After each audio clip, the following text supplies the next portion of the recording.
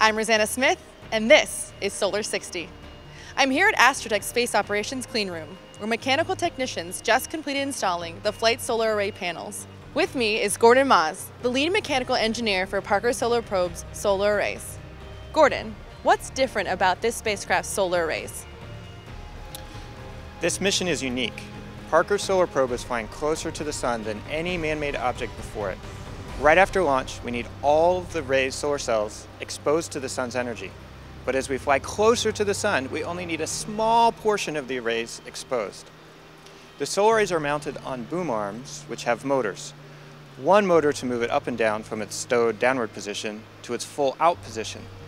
A second motor rotates the array clockwise or counterclockwise to keep it facing the sun. If heat is a problem, how do we keep the arrays cool? Right. A normal solar array would overheat as we get close to the sun. To fix this problem, we designed a solar array cooling system, or SACS, which uses circulating water and radiators, just like most cars' engines, to keep the solar array cool and operational during flight. Thanks, Gordon. That's it from the clean room at Astrotech. I'm Rosanna Smith, and this is Solar 60.